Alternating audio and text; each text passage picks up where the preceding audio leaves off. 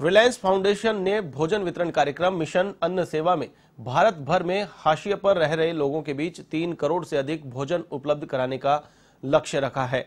दुनिया भर में कॉरपोरेट फाउंडेशन की ओर से शुरू किया गया मिशन अन्न सेवा अब तक का सबसे बड़ा भोजन वितरण कार्यक्रम है। फाउंडेशन अब तक 16 राज्यों और एक केंद्र शासित प्रदेश में अड़सठ जिलों में दो करोड़ से अधिक भोजन वितरित कर चुका है।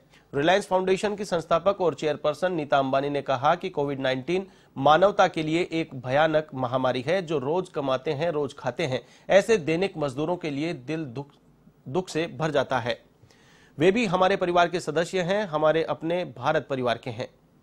इसलिए रिलायंस फाउंडेशन ने मिशन अन्न सेवा शुरू किया है। जरूरतमंद भारतीयों को भोजन कराना उनका संकल्प है।